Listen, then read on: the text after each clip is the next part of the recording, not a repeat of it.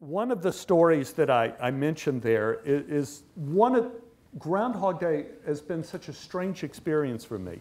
Just as an actor, you have lots of strange experiences, but in Groundhog Day, everything was strange. this, I want to tell you the story of how I got the part, which is very strange. So, I was working on a movie, uh, I was on location in Perris, uh, California, Sometimes I just like to try to pretend I'm John Travolta. You know, Perris, California is the hot, they advertise as the hot air balloon capital of California, as if, you know, every state has a hot air balloon capital. it's about two hours from Los Angeles. And I, I, in this movie, Calendar Girl, I play a gangster type guy with a brother who is deaf and mute, uh, who was played by Kurt Fuller, a wonderful actor who was on The Good Wife and all, all sorts of other shows too. And to learn the part, they taught me sign language of the deaf, and they, they, they taught Kurt sign language of the deaf too. So he would ask me what people were saying, and then I would translate the script to them. And curiosity, you know, right after I did Groundhog Day and did these classes is when Seinfeld asked me to audition for Tor Eckman. So I said, well, I can do, what if I did signs for everything Tor said? So one thing led to another.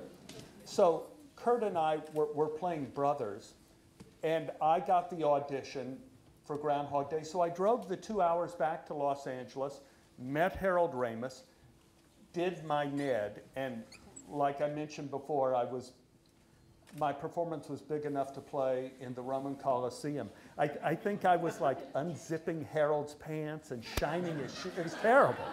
It was terrible. And, and, and I drove back to Perris because we were still shooting. And for the only time in my life, they put me in a room on location with another actor, with Kurt. So Kurt and I were sharing the same room right? We had the two queen beds, and at night it was like we were at summer camp. And they, they turn out the light, you know, we turn out the lights, and Kurt's in the dark. He said, "So, um, you know, you got anything coming up?" And I know the one thing actors hate is to hear that somebody else had an audition.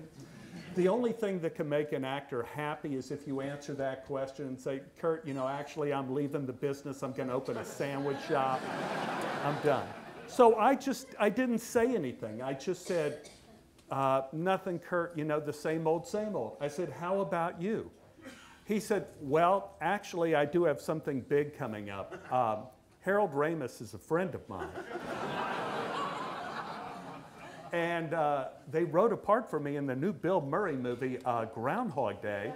And I'm playing this crazy insurance salesman, Ned Ryerson. Now, at this point,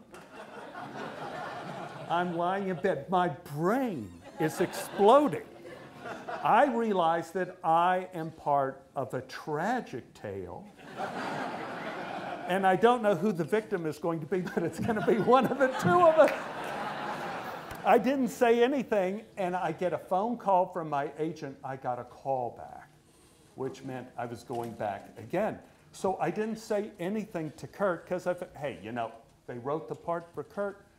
He said he's been rehearsing it for the last month, doing readings with Bill and every. So I drive the two hours back to California, uh, to Los Angeles, audition with Harold, drive the two hours back, and in the car ride back, my cell phone, which in those days was about this big, you know, and I answered it and it was my agent saying, You have the part of Ned Ryerson. I get back to Perris, and Kurt got that phone call too from his agent. So he is furious. He is so hurt. He's been so betrayed. And, and he doesn't know in which direction to vent. Uh, he didn't know if it was me or, her, or someone betrayed him. So angry, eyes filling with tears. Fortunately, he was playing a mute. Uh, he couldn't say anything. Uh, didn't say anything in our pillow talk at night either. So as soon as that, that movie ended, I left and came up to Chicago and started shooting Groundhog Day.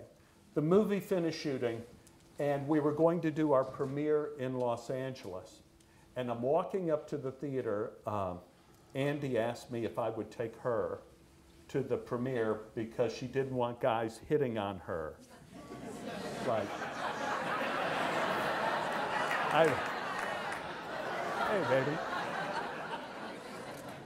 Can you handle this? so we're walking up to the theater, and there is Kurt Fuller standing at the front of the theater. And he said, I'm going to watch the movie with you. so Kurt comes in, and we watch Groundhog Day. And we walk out of the theater in silence. And Kurt said, Well, you took my part from me, but at least you did a good job. Congratulations. And he shook my hands and